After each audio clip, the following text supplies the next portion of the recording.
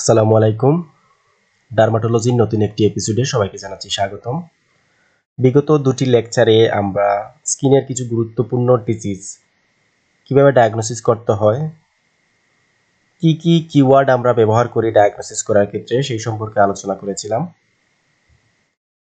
আজকের এপিসোডে আরও কিছু গুরুত্বপূর্ণ স্কিন ডিজিজ পরীক্ষার হলে আমরা কীভাবে অতি সহজে ডায়াগনোসিস করে ফেলতে পারব সেই সম্পর্কে আপনাদেরকে জানাব। আমাদের ভিডিও স্ক্রিনের প্রথম যে ডিজিজ সেটি হচ্ছে পায়োডার্মা গ্যাংরিও নসাম তো সেখানে যে স্ক্রিন লেশনটা হবে, তার তাকে ডেসক্রাইব করতে গেলে পরীক্ষার হলে যেভাবে আপনাদেরকে দিবে, সেই স্ক্রিন লেশনটা এইভাবেই দিবে যে cribriform pattern of reepithelialization ulcer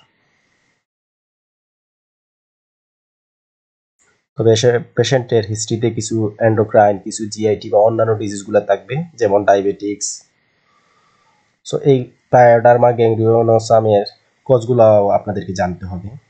আর যে স্কিন থাকবে, সেটা হচ্ছে কিব্রিফর্ম প্যাটার্ন অফ রি এপিটালাইজেশন অফ আলসার বলতে পারে যে একটা ডায়াবেটিক্স পেশেন্টের পায়ে হচ্ছে স্কিন লিশন হয়েছে, সেটা হচ্ছে কিব্রিফর্ম প্যাটার্ন অফ রি এপিটালাইজেশন আলসারের মতো তখন তার ডায়াগনোসিস কি?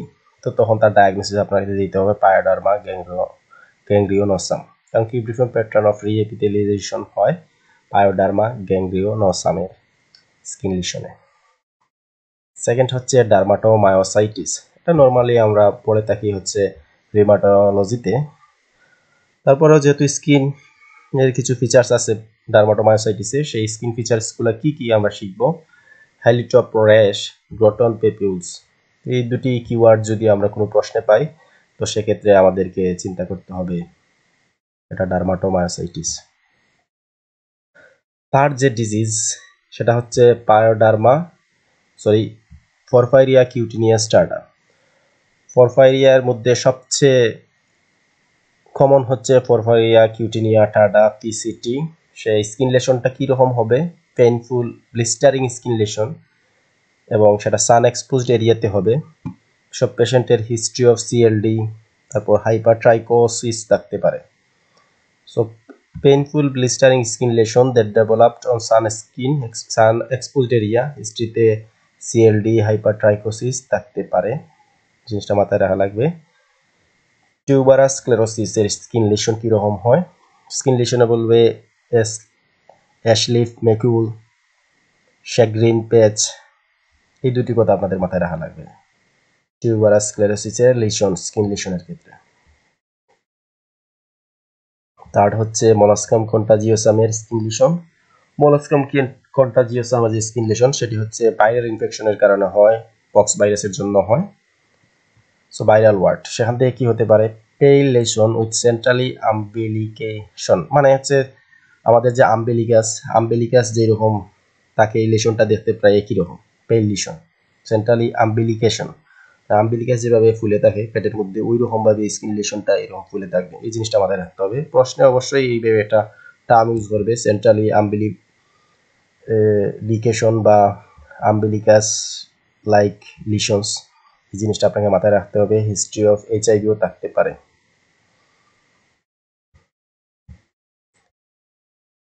ক্যারাটো একান্তমা ক্যারান্টো একান্তমার অন্য একটি নাম আছে, সেটা হচ্ছে মলাস্কাম সিবাসিওসাম। এখানে কি হয়? ডুম শেপড লাভ হয় এবং তার সেন্ট্রালি ক্যারাটিন প্লাগ থাকবে। সো এইরকম যদি কোনো লিশনের কথা বলে যে dome shape love and centrally keratin plug, তাহলে সেটা হবে কেরাতো কেরাটো একান্তমা। স্টেফাইলোকক্কাল ইনফেকশনের ক্ষেত্রে স্কিনে গোল্ডেন ক্রাস্টিং হতে পারে। ডিরেক্টলি ইভ্যাকুয়েশন আসতে পারে। Golden crusting seen in which are infectious disease সেখানে আসতে পারে স্টেফাইলোকক্কাস ইনফেকশন একান্তোসিস নিগ্রিকেন্স এই কথাটাই আসবে পরীক্ষায় velvety velvety hyper pigmentation skin specially on neck and axilla so তখন এই লেশন একান্তসিস নিগ্রিকেন্সের লিশন হিসাবে আমাদের কাছে গণ্য হবে।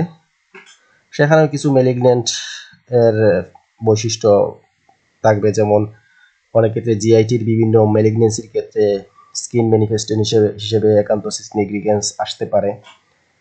সো এগুলা হচ্ছে যে আপনাদের কনফিউজড হওয়া যাবে না।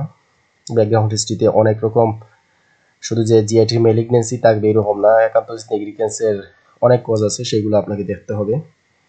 কিন্তু লিশনটা হচ্ছে স্কিন লিশনটা আসবে velvety hyper pigmentation skin specially neck and axilla যেরকম আমি বলেছিলাম, পায়োডারমা গ্যাং রিওনোসামে তারা যখন স্কিন লিশন ডেসক্রাইব করবে, তখন বলবে cribriform pattern of reepithelialization of ulcer so এইসব টার্মগুলো হচ্ছে ইম্পর্টেন্ট বয়েন্স ডিজিজের ক্ষেত্রে হচ্ছে ফেয়ার স্কিন ডেল্টালি উমেনের হয়।